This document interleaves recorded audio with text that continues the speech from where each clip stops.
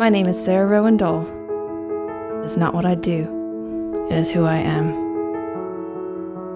I'm a painter, a live artist. When I paint, I feel most alive.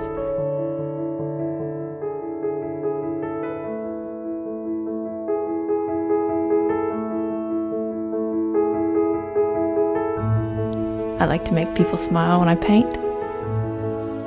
I love painting live and having the, the intimate space of my work exposed to the world. And having an audience. Most artists don't enjoy that, but I think it keeps life fun, risky, and an energy to the work that I wouldn't find in a studio.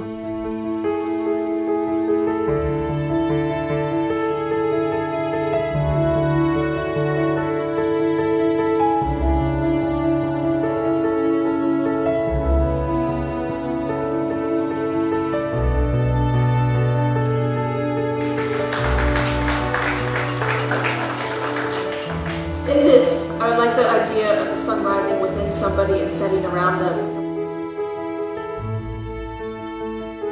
When I first began, I spent a lot of excess time on the outside because a lot of times we spend way too much time dealing with the outside storms in our life and never focusing in centering ourselves. And the winner of the arch is actually in the cage. When you come up close, you'll see the portrait itself inside.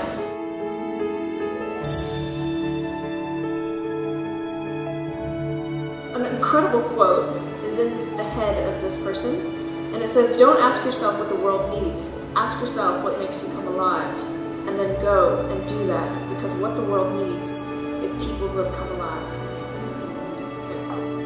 And so the birds are flying free because I don't like the thought of birds in a cage.